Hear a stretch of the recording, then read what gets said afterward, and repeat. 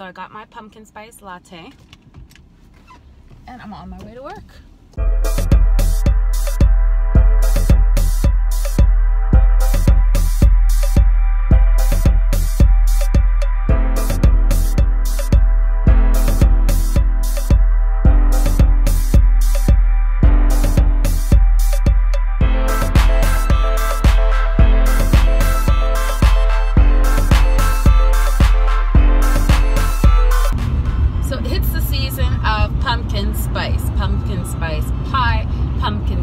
Latte, pumpkin spice Tic Tacs, pumpkin spice Hershey's. I mean, you name it, there's pumpkin spice XYZ. So minus all the sugar, minus all the high fructose corn syrup or simple sugar, whatever you want to call it, there actually are health benefits to some of the ingredients, especially if you can make it at home.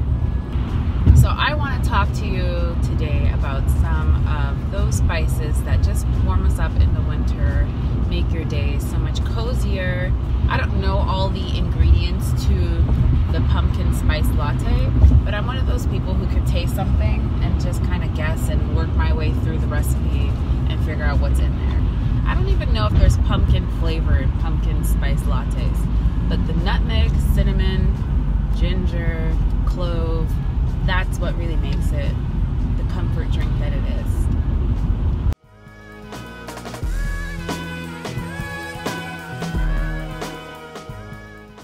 Cinnamon. So there are 250 different types of cinnamon plants. Here I'm showing you what it looks like in its most natural form. There's even a study that shows that patients who had 6 grams of cinnamon for 40 days had a lower fasting blood sugar. And there's more research being done for metabolic syndrome, which is very, very common in the United States at least. It also helps with breast milk production. It has blood pressure lowering effects. There are many proofs that it improves digestion. For those with a cold, it could also help with decongestion when used as an essential oil. It could also be used as an expectorant to break up that mucus when you need to cough. Clove is very pungent. The clove comes from a flower bud. It was originally found in Indonesia. It's been shown to help with dental pain as well as help with digestion. Now, too much is actually toxic. And if you ever bit into one of these, you know how toxic it tastes. You don't want too much, you just want a little bit.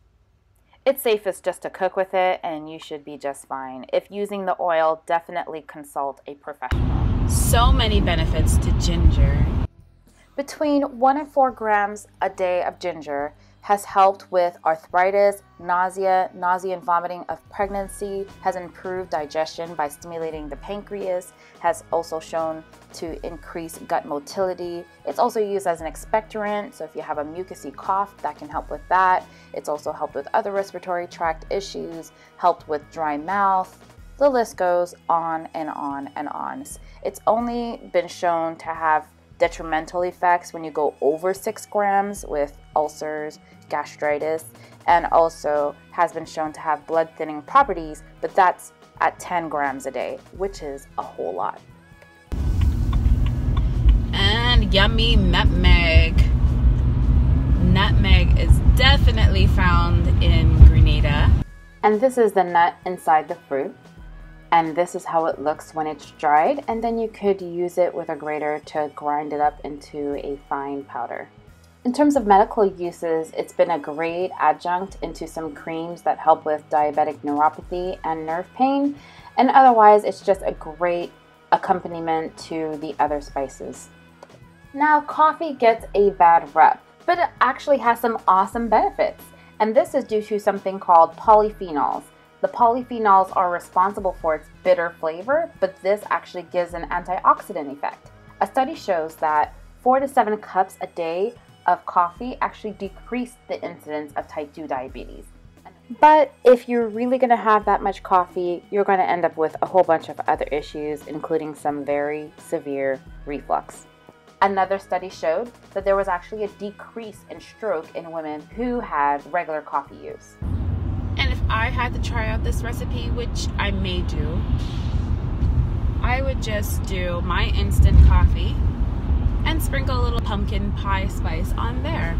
I'll probably also add just a little hint of vanilla and use honey or brown sugar instead of their simple sugar high fructose corn syrup.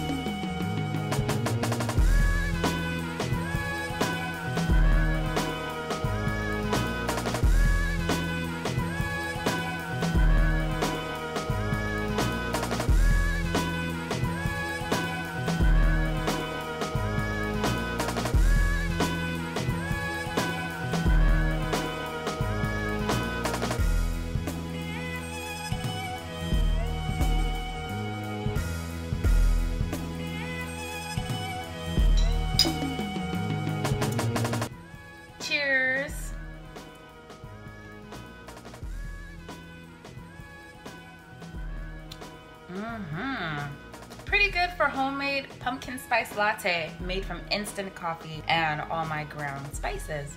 To make it easier, if that's too overwhelming to get all those spices, just pick up some pumpkin spice.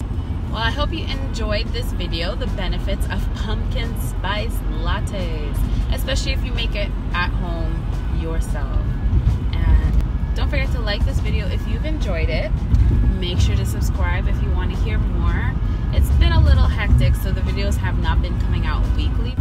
You might not get one every week, maybe every two weeks. And when things kind of settle down, we'll get more on the weekly schedule. So with that and this bright sunlight, I'm gonna let you guys go. Signing out, medically yours, Dr. C.